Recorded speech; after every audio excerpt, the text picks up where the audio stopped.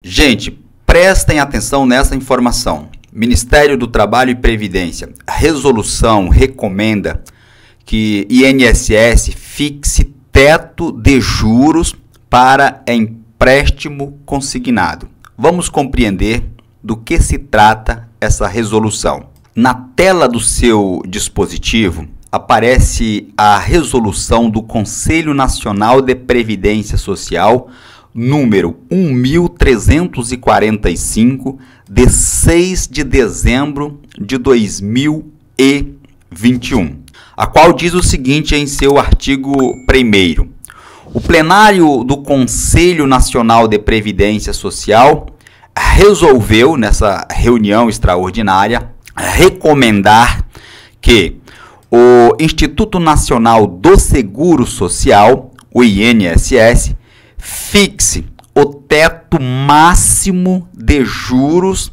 ao mês. Teto máximo de juros ao mês para as operações de empréstimo consignado, operações de empréstimo consignado em benefícios previdenciários.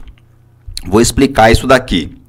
A recomendação do Conselho Nacional de Previdência Social, um órgão deliberativo, é que o INSS fixe um teto máximo para que haja a cobrança de juros no seu benefício previdenciário, aí na sua aposentadoria, na sua pensão, enfim. Na continuação diz o dispositivo em 2,14% em 2,14%. Então o teto máximo seria 2,14% e para no caso aqui dos empréstimos consignados e para as operações realizadas por meio de cartão de crédito. Então vamos entender ainda melhor. No caso de empréstimo consignado, ficaria limitado o teto máximo de juros de 2,14%. Nas operações de cartão de crédito, quando você utiliza o cartão de crédito, esse teto seria de 3,06%. Compreenderam? Empréstimo consignado 2,14, operações com cartão de crédito, quando você utiliza o cartão de crédito, os juros máximo teto que poderia ser cobrado a, a título de juros seria 3,6%. Recomendação do Conselho Nacional de Previdência Social. Resolução publicada hoje no Diário Oficial da União aqui para registro. O artigo 2 diz o seguinte: usar como referência para reajuste do teto das operações de empréstimo consignado, eu vou grifando aqui para que você acompanhe melhor aí na tela do seu dispositivo. Em benefício previdenciário, aposentadoria e pensões, os juros reais atualizados em relação ao Índice Nacional de Preços ao consumidor.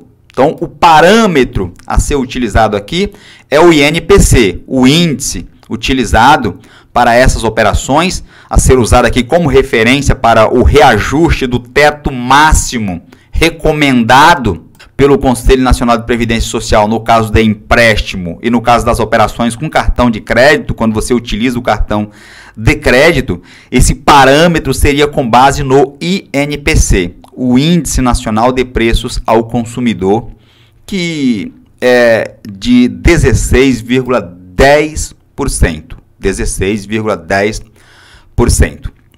E aí, o artigo 3 da resolução diz o seguinte: instituir, criar no âmbito do Conselho, se referindo aqui ao Conselho Nacional de Previdência Social, grupo de trabalho para a criação de programa permanente de cidadania financeira e previdenciária.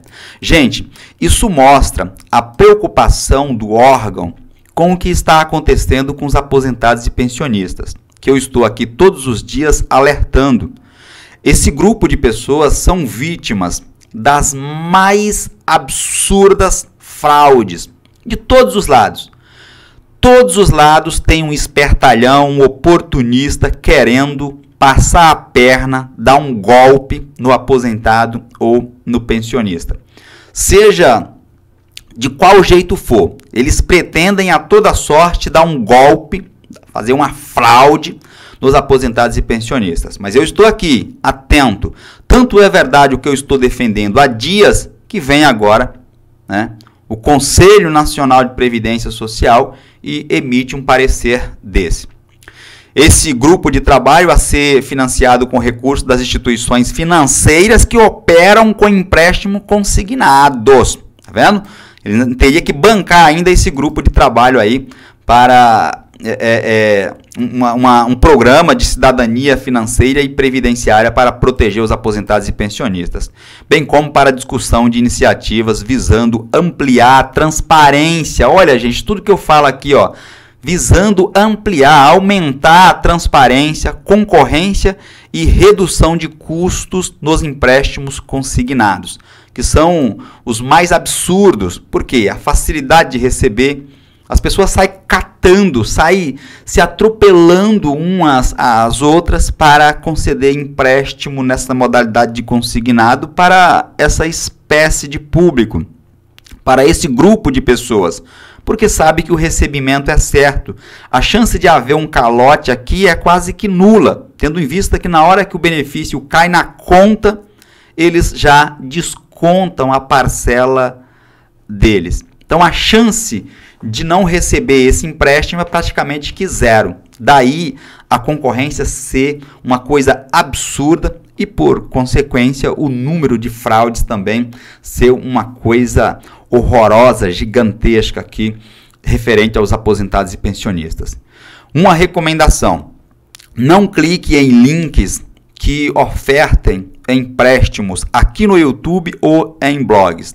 Não faça contratação de empréstimo dessas empresas anãs de fundo de quintal que se denominam financeiras. Não façam isso, tá bom? Se você for necessitar mesmo e tiver que fazer a contratação de um empréstimo na modalidade consignada, você é o senhor da, da situação. Você é quem dita as regras e não eles. Então procure o banco que você mais confia. De preferência, uma instituição tradicional. O que, é uma instituição tradicional? Essas que nós já conhecemos há anos. Hoje, o mercado está proliferado de tudo enquanto é tipo de instituições ofertando empréstimos na modalidade de consignados dado exatamente essa facilidade que tem para receber, porque as pessoas sabem que não vai perder se fizer isso. Entretanto, você deve ficar muito atento, porque quanto menor e menos conhecida for a instituição, maior será o juro, os juros, melhor dizendo, os juros, e a chance de você ser enganado por profissionais mal treinados profissionais sem nenhum conhecimento e nenhum comprometimento com as normas legais é maior. Então, por isso que você tem que fugir dessas instituições que você não conhece, instituições intermediadoras. Né? Se você já está fazendo a contratação de um empréstimo, você vai pagar juros para nessa contratação. Se você colocar um, um intermediador, uma terceira pessoa, esse custo vai ficar muito maior para você. Então é importante que você tire fora os intermediários. É cheio de intermediários, né? instituições que representam instituições que representam. Chega lá no final da ponta, você está contratando 10, 15, 20 instituições para fazer um, um único empréstimo.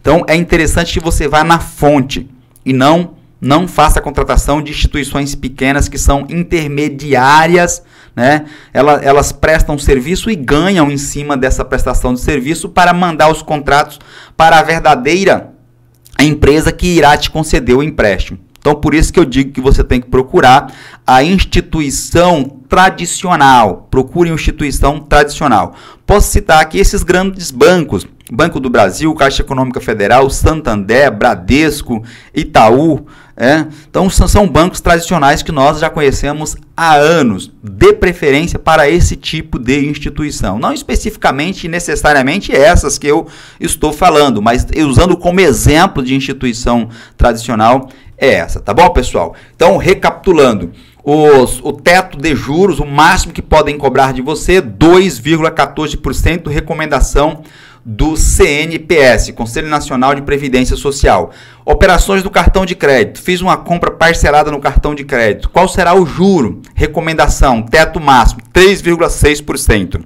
A atualização desse teto, né, a atualização desses juros será feita pelo INPC, o Índice Nacional de Preços ao Consumidor, limitado aqui a 6 a 16, perdão, 16,10%.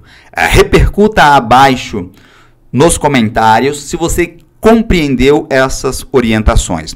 Aproveito a oportunidade para te convidar a inscrever-se neste canal, ativar o sininho das notificações, a fim de que você seja avisado todas as vezes que fizermos uma nova publicação com assuntos importantes como esse que eu acabei de te apresentar.